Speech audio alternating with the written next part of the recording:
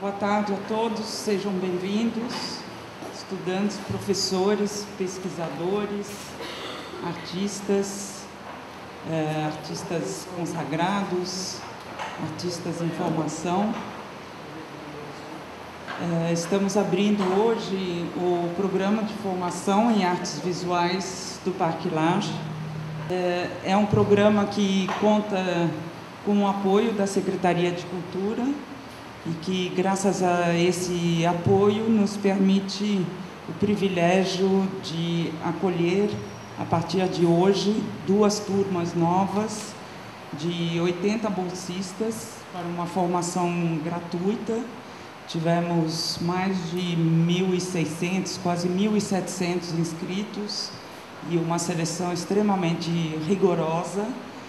E esses bolsistas, então, são o foco do nosso encontro hoje à tarde, é, que inicia então essa, esse curso que tem uma duração de 360 horas, repartidas entre nove meses de duração.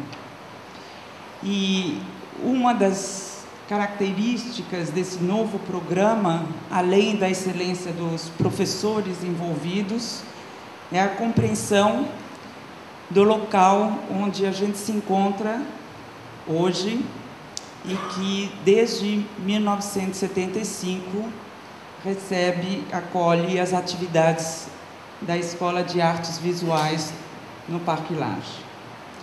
O histórico dessa instituição, que foi fundada pelo Rubens Gershman, não vou tratar disso nessa introdução, tem marcos que vocês conhecem, é, que vão desde, desde a filmagem de Terra em Trânsito, Glauber Rocha, em 67, até shows históricos do Caetano, do Cazuza, do Gil e de muitos outros. Mas o que, na verdade, eu gostaria de ressaltar hoje é o contexto fabuloso que essa escola única tem no sentido de funcionar num local tombado pelo IFAM como patrimônio histórico e paisagístico. Esse é um ponto de partida para a gente refletir a respeito da singularidade dessa escola. O que, que significa estudar, trabalhar nesse cenário mágico, nessa área verde composta de jardins românticos europeus, um conjunto arquitetônico eclético e uma trilha que também nos leva até o Corcovado, entre tantas outras atrações. Né? Porque esta escola, situada dentro de um parque urbano e público, reúne, no meu entender, as melhores condições para oferecer uma formação transdisciplinar. Quais são os desafios colocados nessa convivência entre uma escola de arte que reivindica a liberdade como condição essencial e a preservação de um ecossistema que integra o Parque Nacional da Tijuca? Como essas duas instâncias podem conviver junto? Como viver junto foi a proposta de uma Bienal que eu organizei em 2006, junto com um programa de seminários internacionais que acompanhava essa Bienal. E um dos seminários foi dedicado à passagem histórica do território do Acre para Estado, e para a compreensão de todas as implicações políticas dessa transformação de um território para Estado. Eu lembro que enfrentei muitas resistências de colegas na época, colegas curadores também, na compreensão do Estado do Acre dentro de uma proposta curatorial. E depois o próprio tema acabou levantando uma polêmica eh, junto à opinião pública e junto eh, a alguns congressos internacionais de críticos de arte que indagaram qual era o sentido da inserção de um núcleo como o Acre dentro de uma Bienal de arte. Naquela Bienal e naqueles seminários, convidei historiadores e teóricos de arte, mas convidei também professores de arquitetura, de antropologia, de literatura, de filosofia política e psicanalistas. E um indianista da FUNAI e eu lembro ainda da então ministra do Meio Ambiente, Marina Silva. Então foi naquele contexto, em 2006, ou seja, quase 10 anos, que me aproximei da professora Manuela Carneiro da Cunha, que hoje está conosco, para dar início ao ano letivo de 2015 no Parque Laje. Naquele momento, o tema abordado no contexto da Bienal foi o tema que a professora nos trouxe foi é, de como o conhecimento tradicional e o conhecimento científico podiam, deveriam, devem conviver junto. E o Acre, então, era a metáfora que a 27ª Bienal usou como uma plataforma política para questionar uma ideia de grande arte, ou seja, uma ideia de uma arte como patrimônio da humanidade, e também para questionar a globalização das bienais de arte. A Escola do Parque Lage, nessa gestão nova, iniciada por Márcio Botner, que me convidou a ocupar este cargo de direção desde agosto do ano passado, só pode se projetar no século XXI com uma missão inédita na formação de seus artistas, ou seja, compreender a singularidade do local em que está e firmar um compromisso ético com a biodiversidade e com o pensamento ecológico. Convidar, então, hoje a antropóloga para uma aula inaugural voltada para vocês, futuros artistas, é um compromisso desde já de que o artista do futuro deve ter uma visão mais ampla do que o ensino da história da arte ocidental. Temas como a diversidade étnica e a diversidade social já tinham entrado em nossa agenda nos movimentos de vanguarda artística, como, por exemplo, o Manifesto Antropófago de 28 do Oswald de Andrade. Me parece que faltava esse passo além, que é da compreensão agora da biodiversidade e de uma urgência planetária. Então, a escola é esse local de transmissão e de troca de saberes. Somos todos aqui produtores de cultura, mesmo que nem sempre possamos oferecer bens materiais ao mercado, mas estamos aqui colocando nossas ideias em circulação e colocando elas é, para serem trocadas. É preciso, portanto, ficar atento e muito atento para não cair na cilada da homogeneização. Porque quanto men quando menos percebermos, já estaremos reproduzindo modelos e assim perdendo também diversidade. O artista do futuro se inscreve nesse registro simbólico de reconhecimento de que a dicotomia entre natureza e cultura é um dos tantos mitos que herdamos da modernidade ocidental. Eu quero agora, então, apresentar rapidamente a vocês a nossa ilustre convidada, é, com algumas linhas biográficas, a professora Manuela Carneiro da Cunha, é antropóloga, É professora titular aposentada da Universidade de São Paulo e da Universidade de Chicago e foi professora do Collège de France. É autora de vários livros, entre os quais Negros Estrangeiros e Cultura com Aspas, entre e outros ensaios. É membro da Academia Brasileira de Ciências, Gran Cruz da Ordem do Mérito Científico e oficial da Legião d'Honneur da França. É atualmente membro da Força Tarefa sobre Conhecimento Indígena e Local do painel intergovernamental da biodiversidade. Eu passo então a palavra à professora Manuela, que já agradeço aqui por ter aceito o meu convite. Muito obrigada. Boa tarde.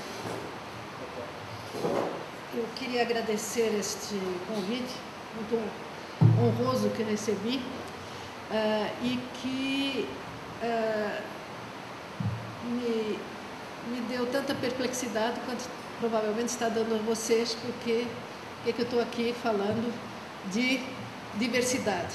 Porque eu vou falar, é disso que eu vou falar, de diversidade, e não só de diversidade étnica, como a Lisette mencionou, mas de diversidade em geral.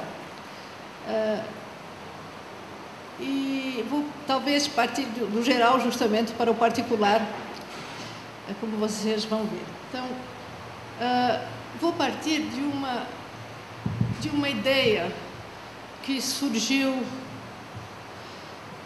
com mais força, na realidade, mas que já tinha surgido antes, num, num artigo que se tornou muito famoso de um economista uh, rumeno chamado Georgescu Hărcă. Uh, Georgescu retomou estudos anteriores de pessoas como Boltzmann e, sobretudo, de um físico, um físico muito importante, que se atreveu a escrever sobre biologia. Esse físico foi Schrödinger, Erwin Schrödinger, que uh, publicou uma série de conferências chamadas, uh, com o título geral, O que é a Vida? E Georgescu retoma, então, as, as teses tanto de Boltzmann quanto de, de Schrödinger para dizer, no fundo, o seguinte. Uh, tem se falado muito de energia. Uh, é preciso lembrar que esse artigo é de 86 e que na década de 70 houve um, um choque uh, do preço do petróleo que uh, foi um desencadeou um grande interesse na, na questão da energia disponível. Então, energia era a palavra da década de 70 a tal ponto que, por exemplo, na economia se chegou a dizer que a economia podia ser reduzida aos cálculos energéticos, que era isso que era a base real uh, da economia. Essa moda da, da, da, energia, de certa forma, já se dissipou, uh, mas a energia continua sendo, evidentemente, um grande, uma grande necessidade para a vida. Né? O, essa, essa energia, portanto, é, é, uma das condições para a vida que o Schrödinger e depois o Georgescu né, enfatizaram. Mas não é só energia, né? é, é também uh, os, são também os recursos naturais que hoje em dia estão muito em evidência, mas que não estavam tanto assim uh, na época em que escreveu o Georgescu. Mas a, a terceira condição para, para a vida é a que mais impactou, porque foi muito inesperada, de, certo, de certa forma. Então, qual é essa terceira condição para a vida? É, disse uh, Schrödinger e retomou Georgescu, é a diversidade. Eles não chamaram de diversidade, eles chamaram de entropia baixa, mas é, eu não vou entrar na, na explicação disso aí, mas é de diversidade que se trata. Então, voltemos um instante. Por que, que isso, é, isso é importante? Pelo seguinte: energia, como todos sabem, não se perde, só se transforma. Né? Só que energia, nem toda energia, é, está acessível para a humanidade ela nem toda energia pode ser transformada em trabalho.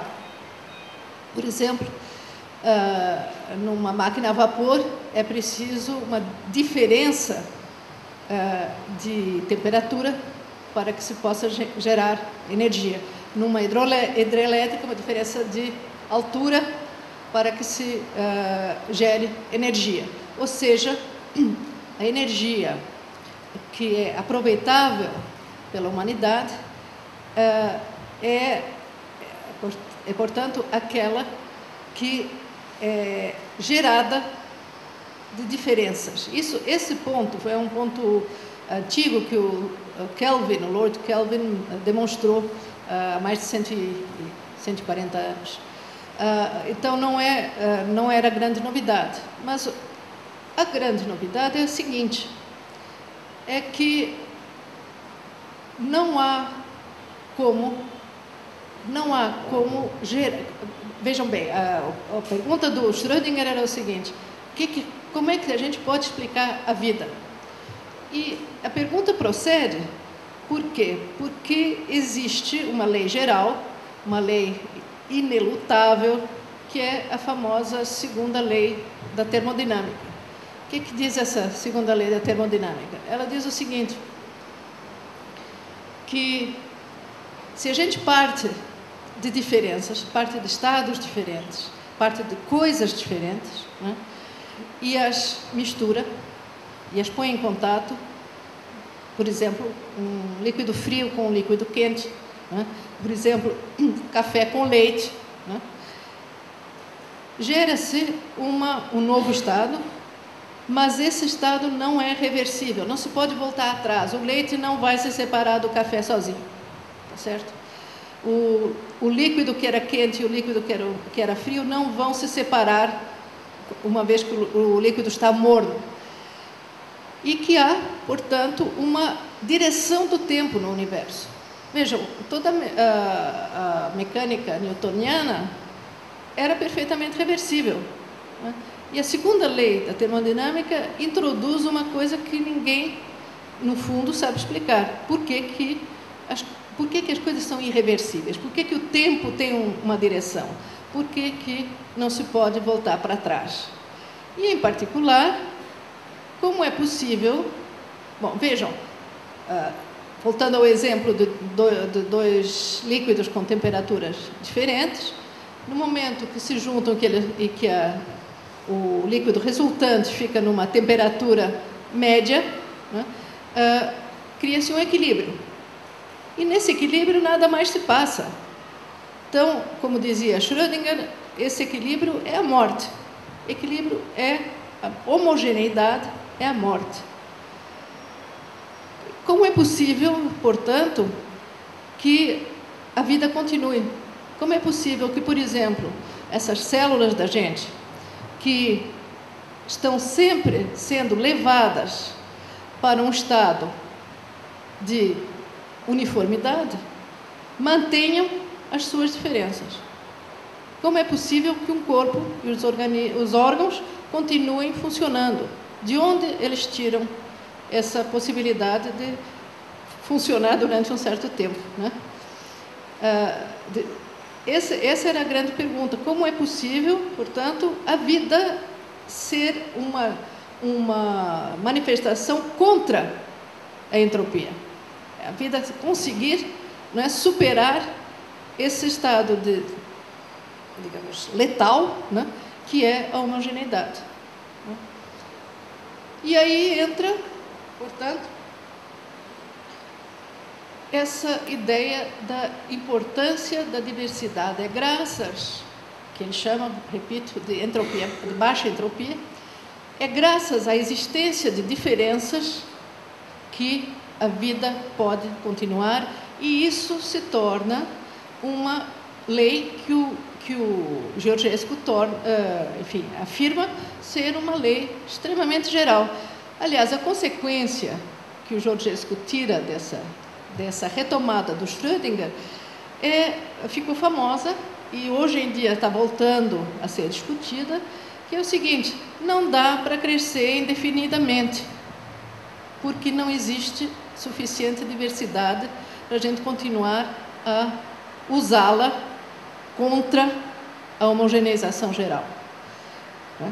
Eh, essa ideia de uma limitação da, da, do crescimento, de que não se deve pensar em um, de, um desenvolvimento sem limite, mas que a gente deve impor limites ao crescimento, né? é uma ideia que está sendo, repito, muito debatida hoje em dia uh, e que está voltando, uh, a, está voltando a, a, ser uma corrente até importante, né? liderada, por exemplo, por um economista, uh, Juan Martínez Allier, um catalão, que preconizam exatamente isso. Vamos restringir, vamos decrescer e vamos restringir o crescimento.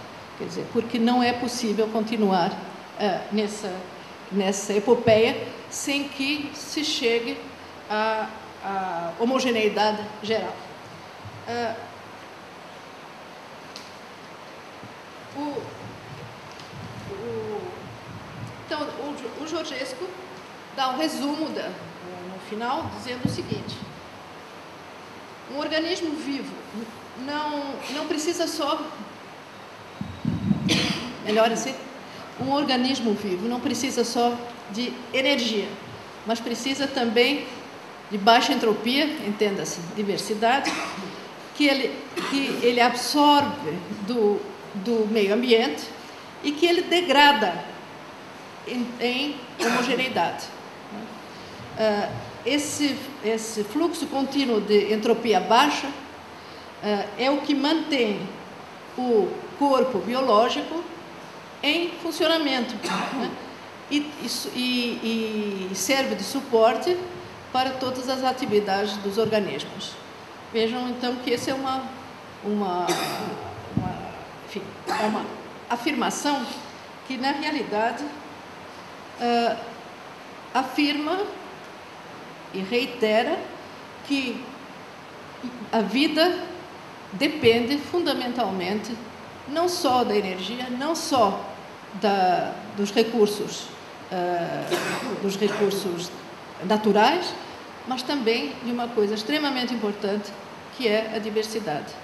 E esse é o ponto que eu vou tentar uh, elaborar aqui através de um exemplo muito concreto.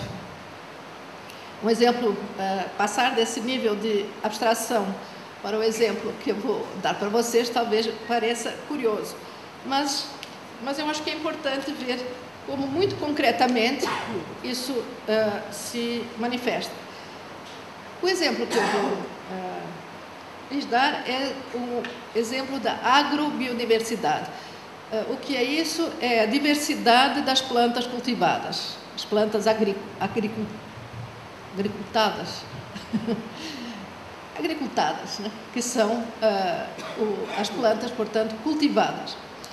Uh, hoje em dia se sabe, se conhecem 250 mil espécies de plantas né, no mundo inteiro.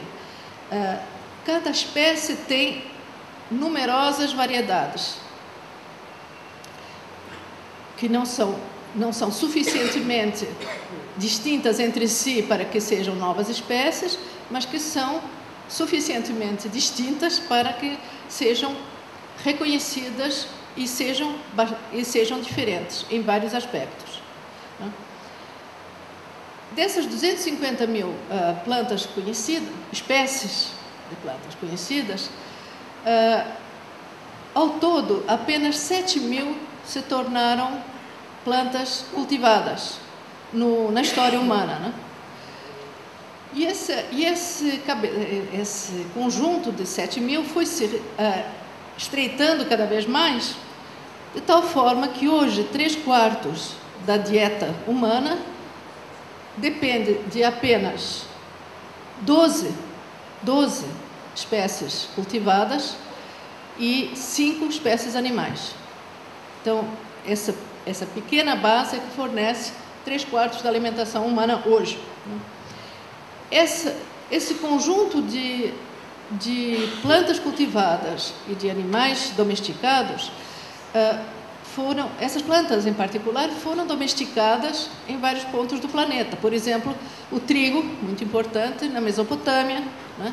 o, a batata nos Andes, né? o que mais? O milho no, no, na América Central.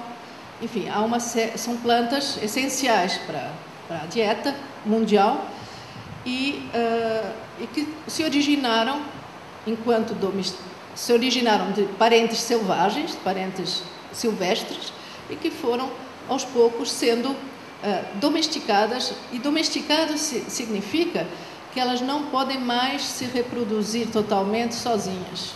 Isso é o, a, a, definição que os biólogos estão dando hoje de, do que significa domesticação. Uh,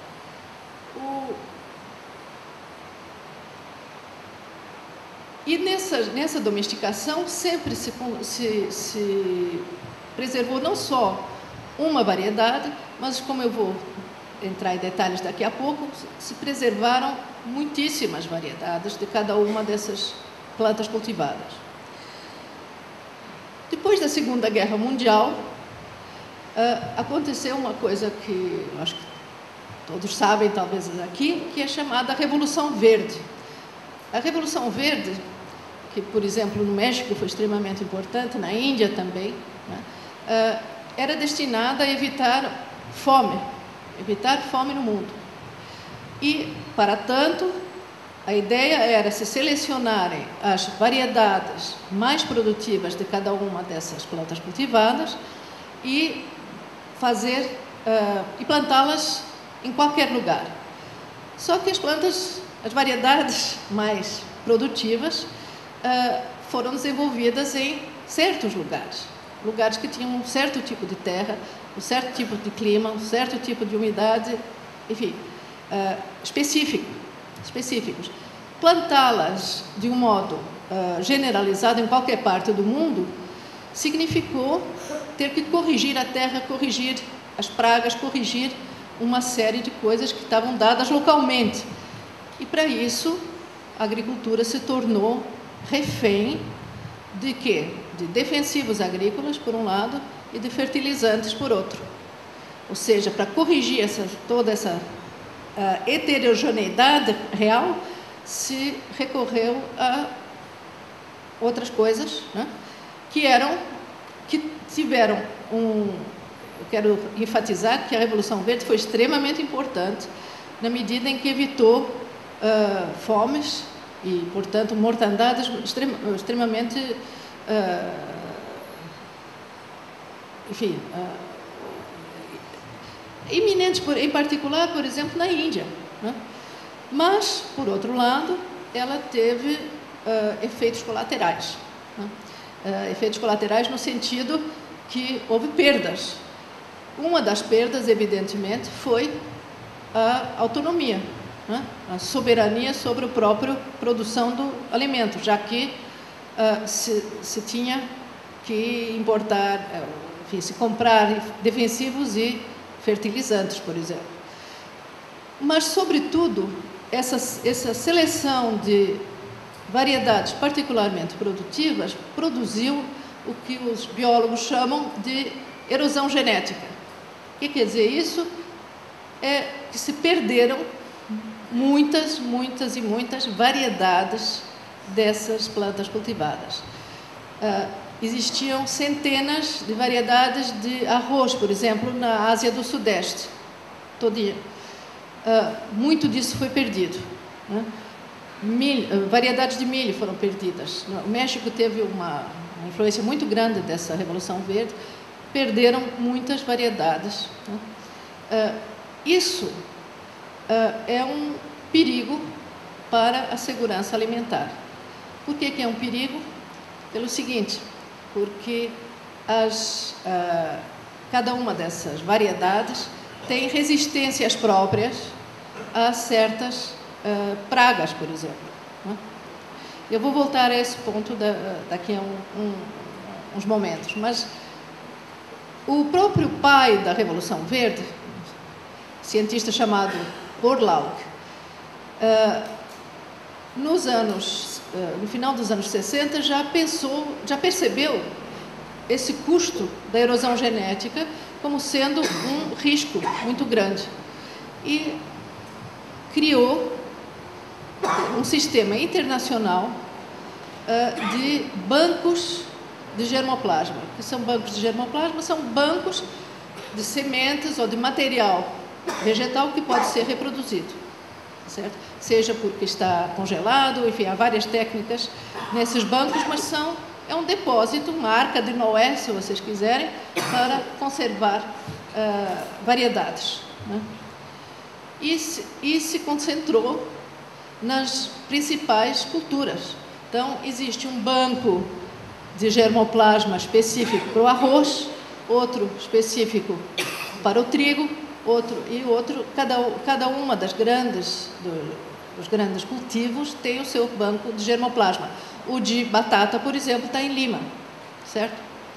Ah, e se começou a guardar nesses bancos essa reserva de variedades, essa, essa reserva de diversidade.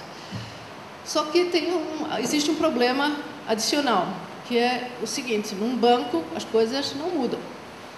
Gelados ou conservados dessa maneira, as coisas se reproduzem de forma de igual para igual. Ah, acontece que existem mudanças no mundo. O clima muda, né? ah, pragas aparecem e há uma coevolução das variedades que estão aí né, no campo e os, essas pressões, tanto de parasitas, como de vírus, como de todo tipo de praga, quanto coisas como clima. Então, né? então há uma, uma resposta das variedades, isso é a seleção natural, a famosa seleção natural que o Darwin né, uh, inventou. Ah, é por seleção natural que essas plantas, essas variedades, coevoluem com o que está acontecendo no mundo, certo? O, a importância da, de ter essa, essa diversidade genética é enorme para a segurança alimentar. E o exemplo que sempre se dá é o exemplo da grande fome da Irlanda. A grande fome da Irlanda foi, foi muito comentada, muito, é muito conhecida. Entre 1845 e 1849, as colheitas de batata uh, foram arrasadas por uma praga, o mildiu. Acabaram. E acabaram quatro anos seguidos. Um milhão de pessoas morreu de fome na Irlanda. Um milhão de pessoas emigrou para os Estados Unidos também. Não foi só um desastre natural, aliás. É bom que se diga que a Inglaterra não, se, não ligou a mínima para o que estava acontecendo na Irlanda naquele, naquele momento. E as fomes não são só desastres naturais, são também desastres uh, sociais. E quem uh, disse isso com, muita, uh, com muito vigor foi o grande economista Amartya Sen, Prêmio Nobel de Economia. Por uma vez não é os prêmios Nobel de Economia em geral são, são o júri do Prêmio Nobel de Economia são bancos, não é o mesmo júri do resto do Prêmio Nobel. E, portanto, o, o tipo de Prêmio Nobel de Economia raramente uh, deixa de ser um, micro, um especialista em microeconomia ou algo assim. Mas há duas, duas exceções extremamente importantes. Um é o Amartya Sen, e o outro, e o outro é uma mulher, Eleanor Ostrom, que é, uh, também foi né, uh, Prêmio Nobel de Economia. Mas voltando à, à grande fome da Irlanda, uh, então a Amartya Sen diz, olha, quer dizer, houve um desastre muito grande, natural, porém houve também uma, uma indiferença política da, da Inglaterra que estava vendendo sua própria batata para terceiros, em vez de mandar para a Irlanda. Né? A batata, aliás, é um, é um caso muito interessante pelo seguinte: a, a batata foi domesticada nos Andes, como eu falei, né? uh, por uh, índios, camponeses uh, do altiplano do Peru. E eles, eles selecionaram mais de mil variedades de batatas. Vejam a, a enorme diversidade. E existe um segundo centro de diversidade chamado, nesses casos, eles chamam isso de uh, Centro Secundário de Diversidade, que é uma ilha no sul do Chile, uma ilha, aliás, muito bonita que eu visitei, uh, chamada Chiloé. E em Chiloé existem 400 variedades de batata. A batata foi introduzida na Europa pelos espanhóis, não por acaso, né? e no século XVI.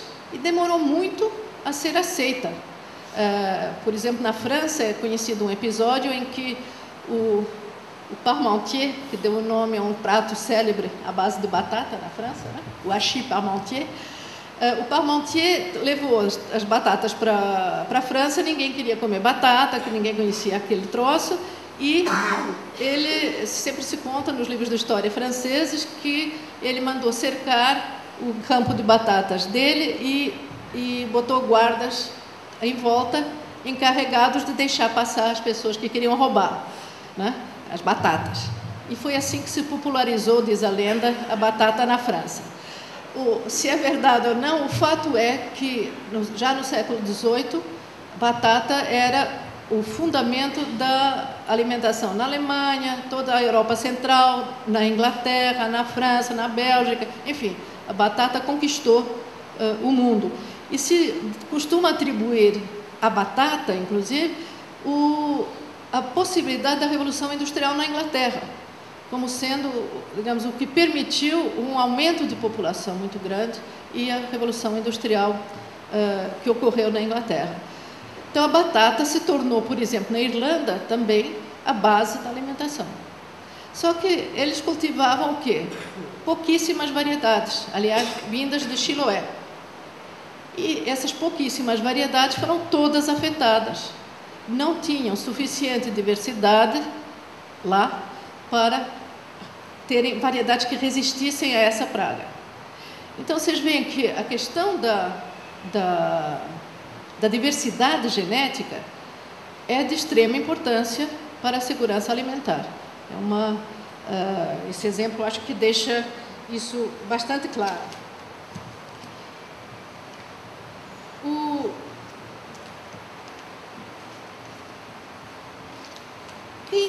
então, eu falei dos bancos de germoplasma. Por exemplo, a Embrapa tem um banco de germoplasma geral, que é o Senargem. Né? Uh, mas uh, que não é específico, digamos, de um cultivar em particular, é um banco germoplasma uh, geral, como eu disse, que aliás tem muitas espécies exóticas, não tem só, uh, isso é, mas isso é uma outra conversa. Mas quem é que garante a diversidade ao longo do tempo? Quem produz essa diversidade? Os bancos não podem produzir essa diversidade porque eles estão gelados num certo momento. Quem produz a diversidade é a agricultura tradicional, são os agricultores tradicionais, são as populações que se chamam hoje, no juridiquês, indígenas e locais. São elas que produzem essa diversidade. E um bom exemplo é dado, aliás, dois bons exemplos, são dados no Rio Negro, pelas populações indígenas uh, do Médio e do Alto Rio Negro. No, nessa região se encontra, bom, no Alto Rio Negro, em particular no Rio Içana, há uma enorme variedade de pimentas. Os baniwa, vocês já devem ter visto, aliás, pimenta baniwa por aí sendo vendida. Né? Uh, existem pelo menos, quantas são? Montes Tá, montes de, são acho que 48 variedades de pimentas que os Baniwa cultivam, sendo que em cada uma das roças de uma mulher você tem entre 5 a 14 variedades em cada roça cultivadas pelas mulheres Baniwa. Então, um, esse é um dos exemplos da, variedade, da diversidade agrícola do Alto Rio Negro, mas há uma outra plantas, que é também a base da alimentação da, de toda a Amazônia, que é particularmente diversa nessa região. E qual é essa planta? É a mandioca. A mandioca é, vocês sabem que a farinha de mandioca, beiju, tucupi, a tapioca, enfim, todo um monte de subprodutos da mandioca mas muito particularmente a farinha, né, são a base da alimentação, é, é, são as calorias básicas de, todo, de toda a alimentação da Amazônia. E de, muita, e de muitas populações do Cerrado também. Né? E também se tornou absolutamente central na África. A mandioca foi levada para a África, provavelmente numa, no século XVII foi o grande século da, das viagens das plantas. Quando vieram as, as mangueiras vieram da Índia para cá, uh, enfim, nem vale a pena entrar em todos os detalhes, as jaqueiras também, que são tão uh, abundantes aqui no Rio, né? Uh, essas plantas foram trazidas e muitas plantas foram levadas daqui para outros continentes. A mandioca foi levada para a África. Uh, foi levada para a África e se tornou a base da alimentação de 500 milhões de pessoas. Né? Então, não é só a Amazônia, não é só o Cerrado, mas é também uh, uma grande parte da África que se alimenta de mandioca, sobretudo África Central e África Ocidental, né? que tem como alternativa inhames, aliás, né? que vieram de lá para cá. Né? Então há uma, uma grande os, os grandes os caras que realmente fizeram essa toda essa essa introdução botânica de cultivares no mundo inteiro foram, sobretudo, os holandeses, eh, que realmente tiveram, mas os portugueses também, enfim, e, e alguns outros. Os ingleses, numa época mais tardia, também. Inclusive, foram eles que levaram a borracha da Amazônia, justamente do Acre, né? a melhor borracha, que era do Acre, para a, primeiro para a Inglaterra, onde eles aclimataram nos Kew Gardens essas sementes, e depois para a Malásia, onde uh, essas, esse cultivo da borracha completamente destronou né, o, a borracha brasileira. E foi a queda, o famoso fim do boom da borracha na Amazônia. Né? Uh, é, mas, enfim, isso é uma, também uma outra, um outro capítulo. Voltando à mandioca, mandioca no Rio Negro tem mais de 100 variedades de mandioca. E isso é, de certa forma, um, um mistério. Por quê? Porque a mandioca se planta como um clone. Eu não sei se vocês já viram como é que é, mas é o seguinte: mandioca é um tubérculo, né? se arranca, se pega a estipe que está fora, se corta em, em, em troços, né? em pedaços, se enfia na terra de novo e, portanto, o que nasce ali é um clone, é um clone da planta que já estava. Então, como é que uma, uma planta que é cultivada sob forma de clones pode ser diversa? Né? Isso é, é, só se explica por práticas muito práticas e características naturais também muito especiais. E quais são essas características? Bom, o que as mulheres são uh, no, nessa região, é, o sistema é o seguinte: os homens derrubam e preparam os roçados né, e queimam.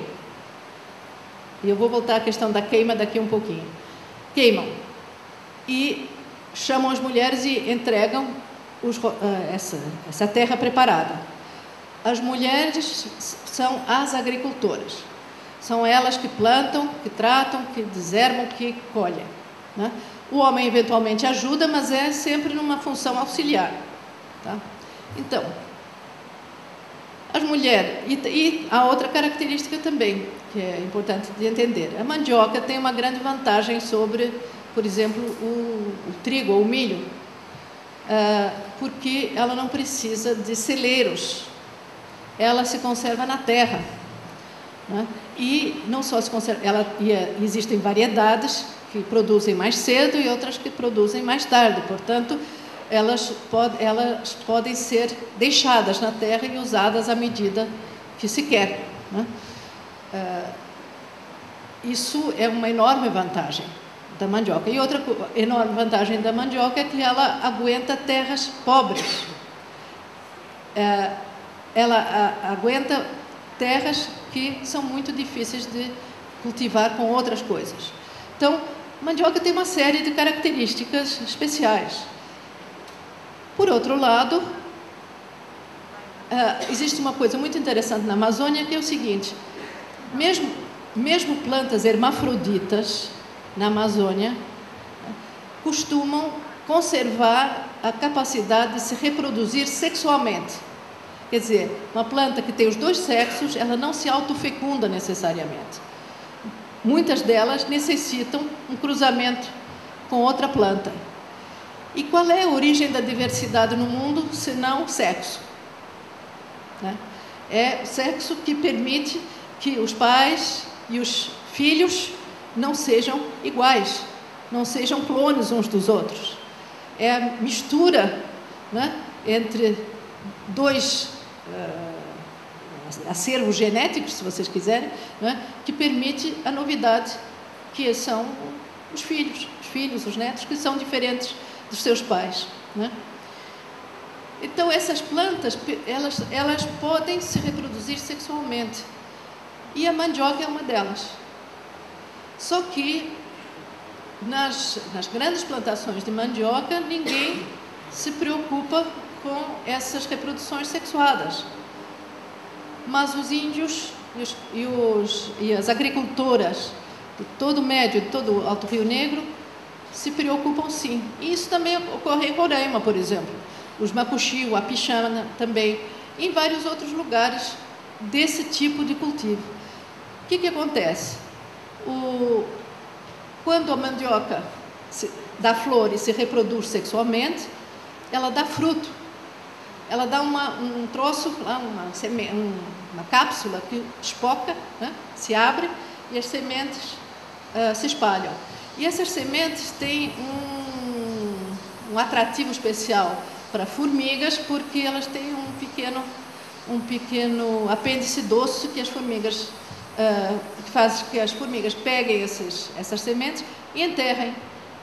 Só que essas, vejam a, a, a sofisticação disso tudo. As sementes são dormentes. Semente dormente por exemplo, semente de, como é que chama, de flamboyant, aliás, outra árvore importada, né? Uh, semente de flamboyant são dormentes também. Não adianta pegar uma semente de flamboyant e plantar na terra que não vai sair nada. As sementes de mandioca só germinam com fogo, com calor. Então, o que está acontecendo? O, esses agricultores, essas agricultoras, elas plantam mandioca num, num no seu roçado um ano, daí oito, seis, oito meses já podem arrancar as primeiras. Elas, ao mesmo tempo, têm mais dois roçados concomitantemente. A agricultora uh, dessa região tem sempre pelo menos três roçados, em diferentes estágios, porque depois de três anos não vale mais a pena cultivar o mesmo lugar, porque a terra se cansou né?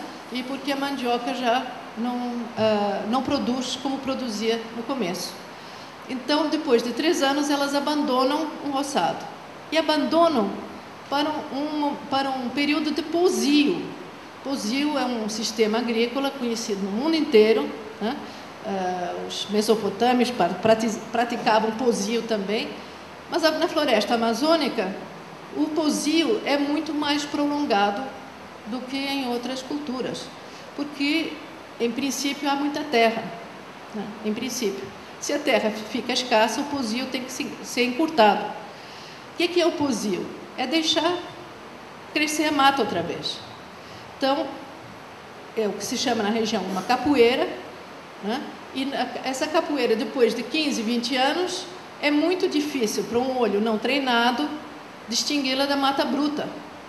Distinguir a capoeira, que é um antigo roçado, de uma floresta dita virgem, né? porque cresceu, cresceu muito. Né? E essas, então, essas capoeiras são tornadas a serem usadas para cultivo. Nesse momento, o que, que se faz? Se derruba novamente aquela, aquela vegetação que, que cresceu e se queima. E quando se queima, aquelas, aquelas sementes germinam. E todo mundo sabe que nascem essas sementes que são chamadas na região do Rio Negro de sementes dos antigos.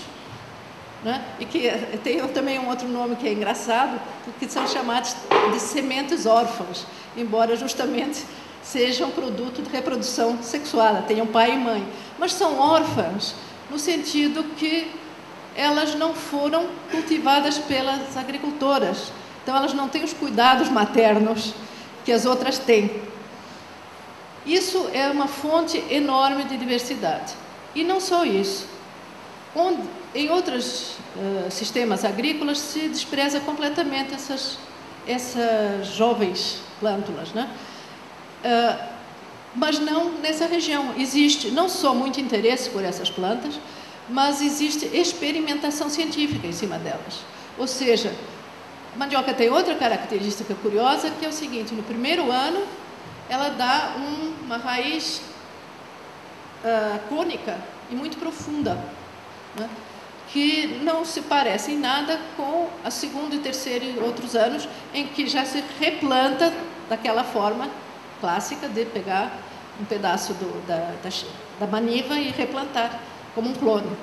Então, é preciso esperar dois ou três anos para ver, na realidade, como é que vai se comportar essa mandioca. As agricultoras do Rio Negro ficam experimentando e observando. Elas reservam espaços para, essas, essas mandiocas órfãs e ficam observando.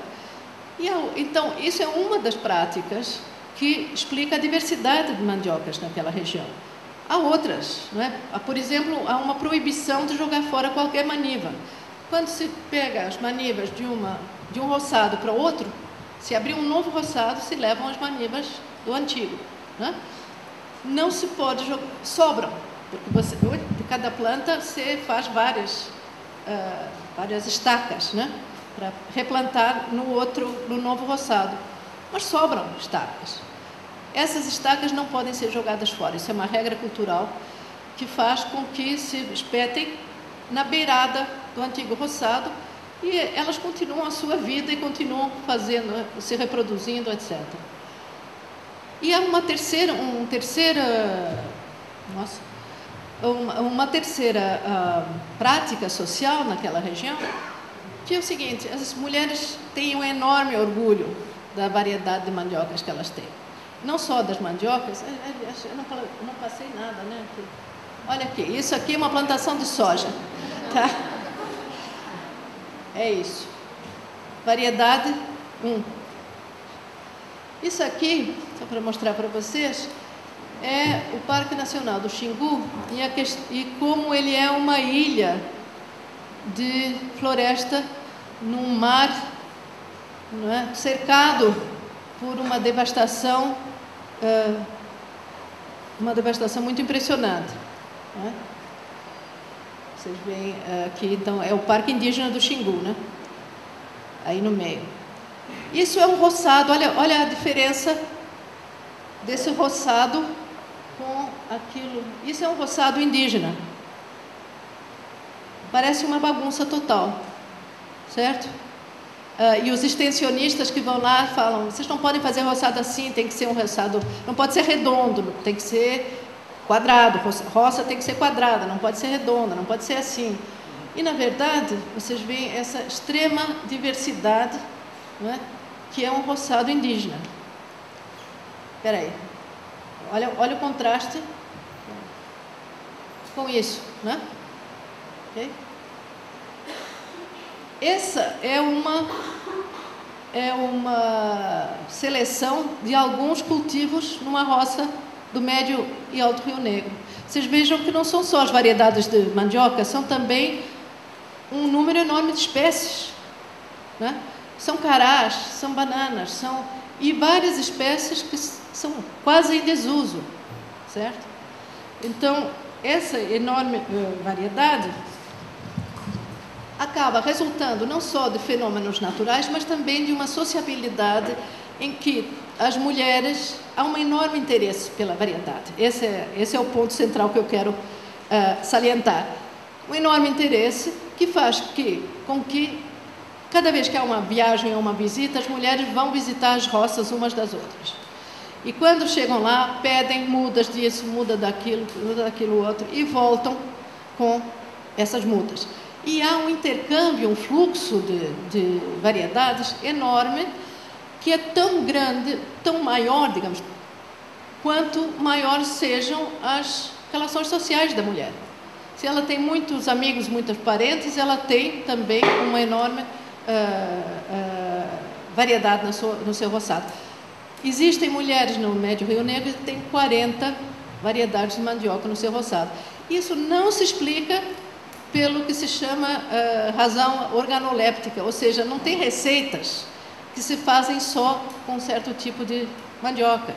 Uh, nessa região existem dois tipos básicos de mandioca, as amarelas e as brancas, só. E, mas dentro disso há inúmeras variedades, mas qualquer uma das brancas, qualquer uma das amarelas serve para as mesmas receitas. Com uma exceção, tem um, mas eu não vou entrar nela, é uma exceção. Ou seja, não é um, uma questão utilitária, é uma, há um real interesse, um gosto pela coleção. E isso é uma coisa interessante que as distingue dos selecionadores.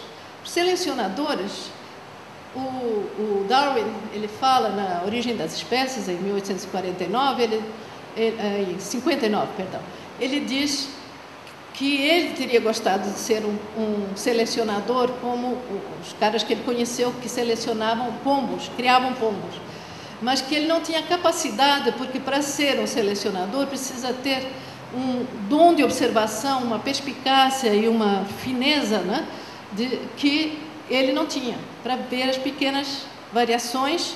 Vocês sabem né, que a, toda a ideia dele de seleção natural decorreu da seleção artificial ele discute o, os criadores de cachorros e de, de, pombos, sobretudo, né? como é que eles fazem para ir fazendo novas raças de pombos, né? que era, um, parece que, um esporte muito uh, popular naquela época na Inglaterra.